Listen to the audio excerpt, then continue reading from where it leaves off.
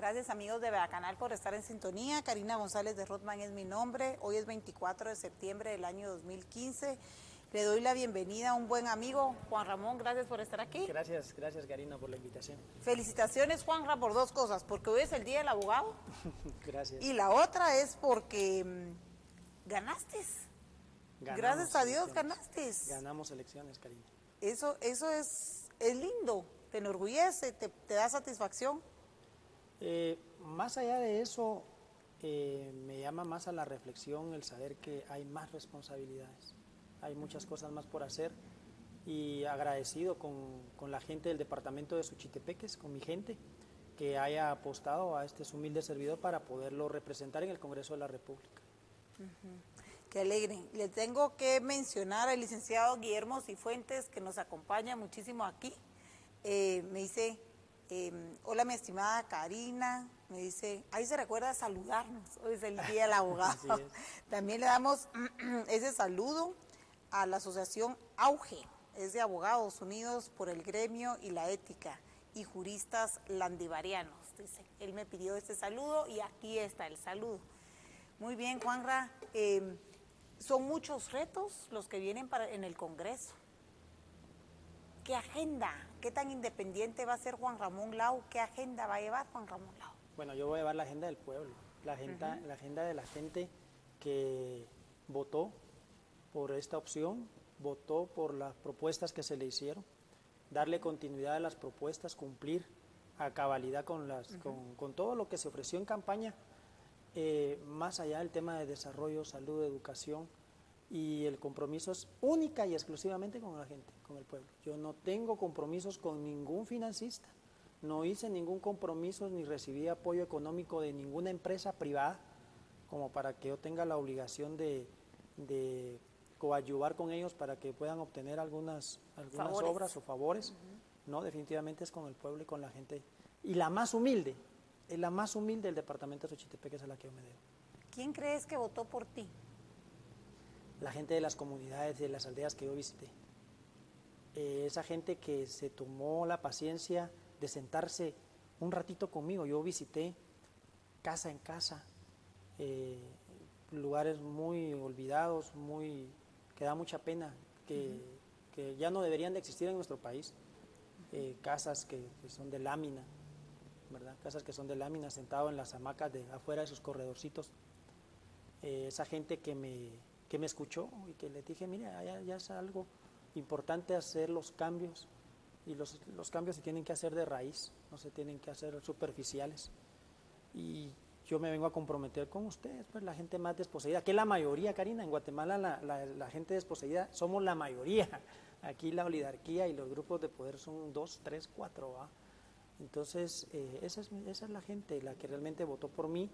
Eh, a muchos les sorprendió, porque Juan Ramón Lau no hizo una campaña cara, siempre estuve en contra de las campañas caras, aparte de que no habían recursos. Pero eh, las campañas caras le salen caras al pueblo, porque cuando uno llega al Congreso de la República o a algún puesto de elección popular, eh, lo que muchos hacen es ir a recuperar la plata que invirtieron en, en la campaña o a devolver los compromisos que se adquirieron. Juan Ramón Lau no tiene esa clase de compromisos Lógicamente gasté recursos porque había que gastarlo, pero los invertí más que digo que en volantes, que en comprar zapatos, porque caminé mucho el departamento de Suchitepeques, conocí las necesidades de la gente eh, y no tengo necesidad de ir a, hacer trinquetes al Congreso de la República como para venir a, recuperar las millonadas que otros sí, sí gastaron, ¿verdad? Eh, porque invirtieron mucha plata, inclusive en el día de las elecciones, en, trasladar a la gente, en pagarles por el voto, porque lamentablemente la población se está muriendo de hambre. 100, 200, 400 o 500 quetzales que les pagaron por su voto, la gente lo dio. ¿verdad? Es lamentable y vergonzoso, pero ese es nuestro país, un país con hambre, con muchas necesidades. El voto de Juan Lau fue un voto consciente. ¿verdad? No le pagué absolutamente a nadie por el voto, no trasladé gente, no tuve vehículos. Es más, eh, los fiscales que trabajaron conmigo fue a honoren. La mayoría de fiscales fueron a honoren, fueron porque creyeron en el proyecto, creyeron en Juan Ramón Lau, en el partido Todos, en Suchitepeques, que fue una opción diferente, ¿verdad? Y sencilla. ¿Quién te produjo el spot? Vea, Canal estuvo de una manera gratuita y con todo nuestro corazón, Gracias. porque te lo ofrecí, transmitiendo eh, tu spot durante varios tiempos, Sí, creo sí, que fueron sí. como tres meses. Sí, así es. Eh, Mirnita, pongamos el spot y recordémoselo al pueblo, porque con esta sencillez ganaste. Así es. ¿Quién, quién hizo ese spot? Ese spot lo hicieron unos muchachos periodistas de una empresa de, de- de un canal de cable local allá en, allá en, en Mazatenango. Eh, periodistas muy humildes, ¿verdad? que aquellos me dijeron, mire, Lick, haga su, hagan su spot. Yo le digo, mire, muchachos, los spots salen caros y yo no tengo pista. No, pero vamos a ayudar, hombre, aunque sea nos da ahí para las agüitas y queremos colaborar con usted. Y ese spot se hizo ahí en el parque, sencillo, caminando, como siempre lo hice. Y es que esa fue una de las grandes ventajas que tuve. Yo me pude acercar a la población. La mayoría de candidatos a diputados no se acercan a la población. Mandan a sus candidatos alcaldes a que les hagan el chance. Juan Ramón Lau no, Juan Ramón Lau caminó a la par de sus candidatos a alcalde en algunas ocasiones y si no lo hice solo y nunca con un comando de campaña. Mi comando de campaña eran dos compañeros, amigos míos que me, que me acompañaron a volantear, ¿verdad? De casa en casa. No pagué empresas de publicidad. Eh, lo último que hice de publicidad fue mandar a hacer 12 afiches con mi foto. 12. 12 afiches de, de- de manta vinílica que fueron puestos en ciertos puntos estratégicos de la entrada de Mazatenango, ¿verdad? Eso, eso fue mi campaña al final del día y fue muy buena porque mi intención siempre fue no saturar la visión de la, de la gente, no, no cansarlos. pues, Pongámoslo de fondo, Mirna. Qué aburrido, qué aburrido estar viendo a, a tanto político y ahora viene este Juan Lago a, a- contaminarnos más el ambiente visual. Lo hice 15 días antes de las elecciones, antes no salí, no salió mi foto en ningún lado, ¿verdad? Posiblemente en, en algún anuncio de prensa. Este era ¿no? tu anuncio, mira. Este era uno de mis anuncios. Este se Este hizo es, este es uno de ellos. en, las, en uno de los salones de, de ahí de mi sede departamental, que por cierto sigue, sigue trabajando, sigue abierta la sede, porque esa sede se abrió para el pueblo y para la gente. Ajá. Ahí te ayudaron eh, amigos periodistas, entonces. Sí, amigos periodistas de ahí del, del, del- de parte de, de Mazatenango en sí. ¿verdad? Ellos lo grabaron en cámaras muy sencillas, ¿verdad? Pero yo creo que lo más importante era el mensaje, ¿verdad? Y como me decía la gente en Suchi, mire usted, es que nos gusta cómo habla porque nos entendemos, les digo yo. Ajá. Y ese es el símbolo. Eh, nos entendemos, les decía yo, eh, si uno quiere comunicarse con alguien tiene que hablar el mismo idioma. Y a los guatemaltecos nos ha costado mucho entendernos y hablar ese mismo idioma. Eh, yo traté de hablar el- al mismo idioma de toda la gente. Yo soy una persona sencilla, trabajadora, soy clase trabajadora, sigo siendo clase trabajadora, seguiré siendo un sindicalista. Eso, de ese vida. tema quería hablar yo. En estos últimos días se ha dado por querer satanizar mucho al gremio sindical.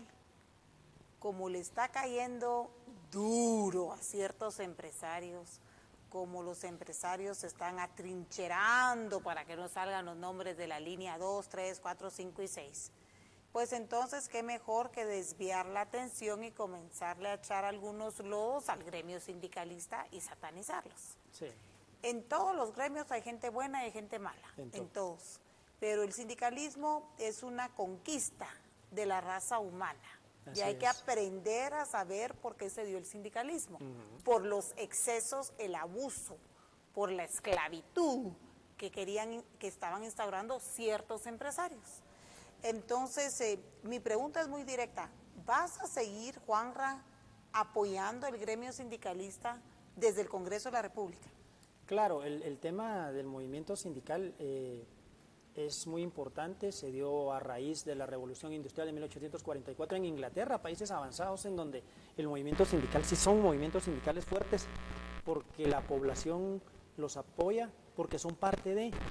En Guatemala siempre han estigmatizado el tema sindical porque como siempre han habido ciertos grupos, los grupos de poder, que no les interesa y que han pues eh, tratado, como repito, de, des- desacreditar a- a- al movimiento sindical como tal, porque como personas pues todos cometemos errores y tenemos muy malos, muy malos dirigentes sindicales, eso lo podemos eh, asegurar muy bien, pero también hay malos dirigentes de las cúpulas empresariales, pésimos, ladrones, etcétera, delincuentes con tacuche. Evasores. Eh, Entonces, de todo hay. Eh, El tema es que el movimiento sindical sí es del pueblo, nacido del pueblo, ¿verdad? De una revolución industrial en la cual se les estaban cometiendo muchos abusos y se estaba dejando por un lado la mano de obra.